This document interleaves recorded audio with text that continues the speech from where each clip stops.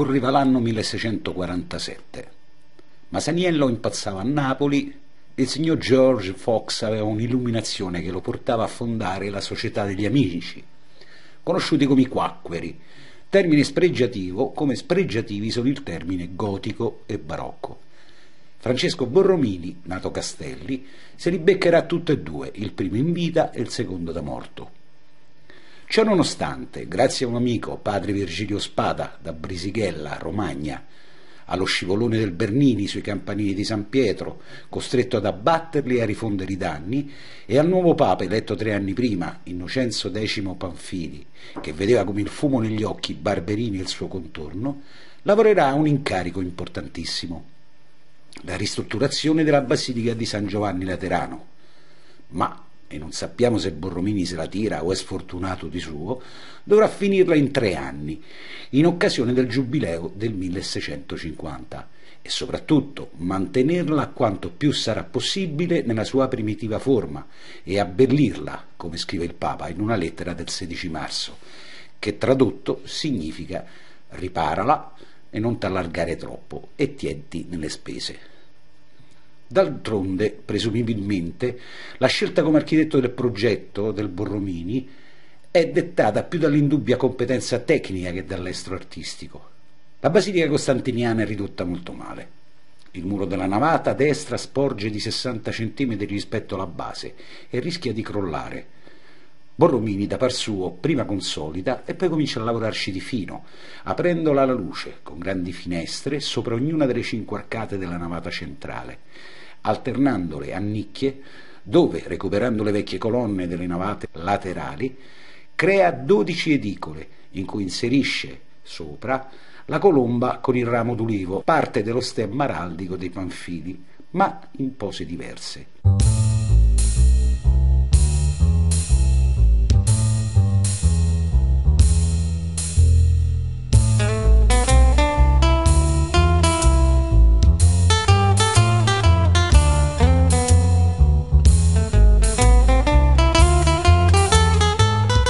Le edicole sembrano staccarsi dal muro, lasciando libere le pareti della navata, che mantengono quindi quel senso di leggerezza che fa parte del canone borrominiano.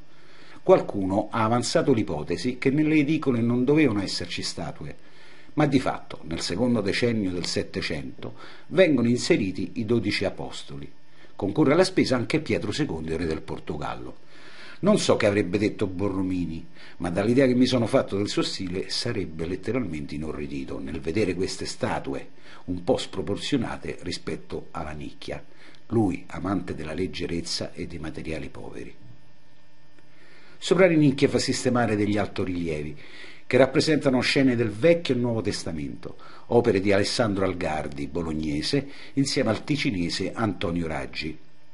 Il primo è autore della statua di Papa Innocenzo, conservata nei musei capitolini, mentre il secondo lo abbiamo incontrato a San Carlino, sua la statua centrale della facciata, quella di San Carlo Borromeo. Sopra gli altorilievi degli ovali, dove in seguito, quasi 70 anni dopo, saranno inserite figure di profeti. Decora le arcate, affiancate da paraste che salgono su, fino al soffitto, pronte a sostenere il soffitto a volta che moltiplicherebbe l'effetto di luce sostituendo quello cinquecentesco. Ma arriva lo stop, dettato probabilmente da motivi economici. Il soffitto rimane così com'è, rovinando per sempre il progetto architettonico, che rimarrà incompleto, come non ci saranno più interventi del Borromini nel transetto e nell'abside.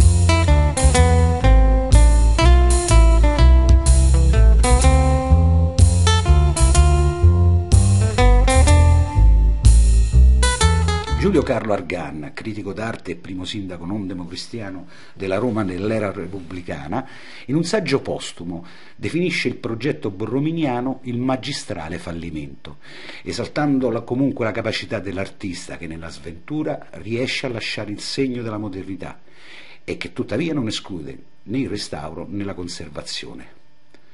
Lavora quindi sulle navate laterali con la luce i colori chiari e le decora con motivi floreali, con palma, alloro e quercia, e teste d'angeli, ognuna differente dall'altra. Inserisce degli ovali, dove prima si intravedevano le antiche mura. Conserva una parte del vecchio pavimento. Il Papa preme, manda suoi emissari a controllare lo stato dei lavori e i lavori principali finiscono in tempo. Ma succede il fattaccio. Un certo Marco Antonio Bussoni, chierico romano, viene sorpreso a danneggiare gli ornamenti marmorei della chiesa non si saprà mai se è scemo di suo o è mandato da qualcuno. Fatto sta che il Borromini ordina a qualcuno dei suoi operai di legarlo e portarlo nel palazzo e forse di dargli una bella lezione. Ma si va oltre e il chierico ci lascia le penne. L'accusa è di omicidio. Se la caverà a fatica, grazie all'intervento del Papa, che lo esilierà fino a revoca. C'è chi dice Orvieto, altri a Viterbo, altri dicono che in esilio non ci andò per niente. Nel frattempo arriva il giubileo, si abbattono i muri delle porte sante delle quattro basiliche maggiori, scompare qualche cassetta piena di monete d'oro e d'argento che tradizionalmente erano inserite nella muratura, si rimpinguano le casse della curia e di osti, locandieri e borseggiatori con l'arrivo di circa 700.000 pellegrini.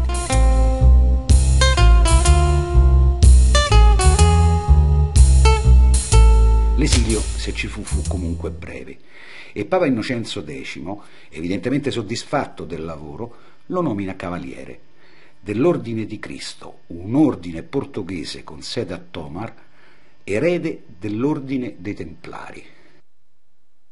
Borromini lo ritroviamo dopo il 1655, intento a recuperare antichi sepolcri, che incornicia in splendidi disegni architettonici e dove i monti e le stelle dei Ghigi sostituiscono la colomba e i gigli dei Panfili, dato che nel frattempo Innocenzo muore e sul soglio sale Fabio Ghigi col nome di Alessandro VII, stesso anno di nascita dell'architetto 1599 e stesso anno di morte 1667.